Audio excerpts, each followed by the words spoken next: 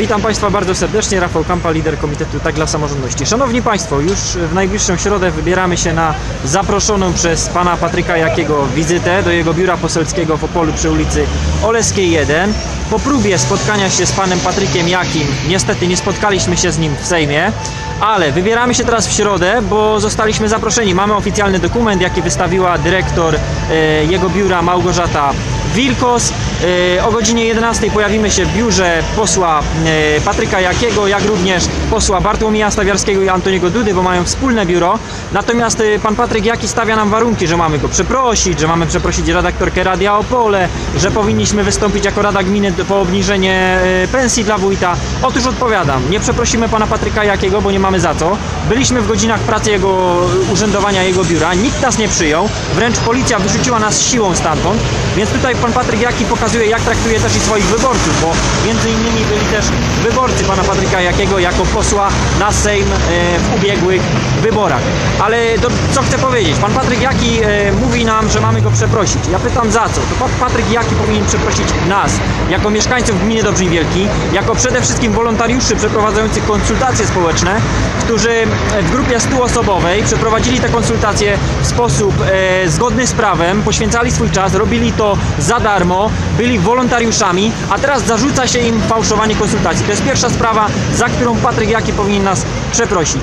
E, sprawa dziennikarki Radia Opole. Osobiście rozmawiałem e, z e, tą panią. Ta pani nie czuje do nas urazy jako do komitetu. Jedynie czuje trochę urazy do sołtysa Dobrzynia Wielkiego, ale już w najbliższym czasie doprowadzimy do takiego spotkania, na którym pojawię się i ja, i pan sołtys Dobrzynia Wielkiego Bernard Żmuda, na którym z kwiatami przeprosi panią dziennikarkę, bo to tak naprawdę, powiem szczerze, nie tak miało to wyglądać. I to nawet tak nie wyglądało, tylko opolscy politycy tak to rozdmuchali, zrobili z tego taką mowę nienawiści, że my po prostu wyrzucaliśmy dziennikarzy z hali, gdzie był Rzecznik Praw Obywatelskich.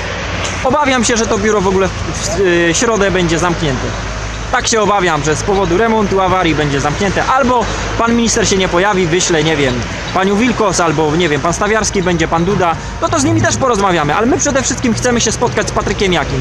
Chcemy go zapytać, dlaczego cały czas mówił y, za poprzednich y, rządów władzy o nepotyzmie, mówił o kumuterstwie, mówił o złodziejce, a teraz robi dokładnie to samo. Obsada stanowiskami swoich kolegów, swoje koleżanki, za nami y, zakład strategiczny elektrownia Opole, gdzie Tomasz Gabor, elektryk obchodowy, miał zostać dyrektorem tego strategicznego zakładu, ale między innymi jest jeszcze wiele innych osób.